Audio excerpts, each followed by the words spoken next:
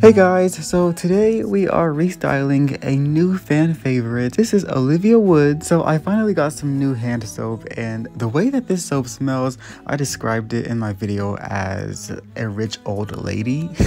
it's really pleasant though. It's like really comforting and I think it's aromatherapeutic. This isn't sponsored, so I'm gonna need you to tag Mrs. Meyer's so that they can sponsor me. no, I'm just kidding. But I mentioned in my full video that her restyle was inspired by Raven-Symoné in the Cheetah Girls music video for Cinderella. So I was definitely going for that Y2K vibe and I, I did what I could, but I am still learning. Obviously, Olivia's name is Olivia because of her olive green color scheme.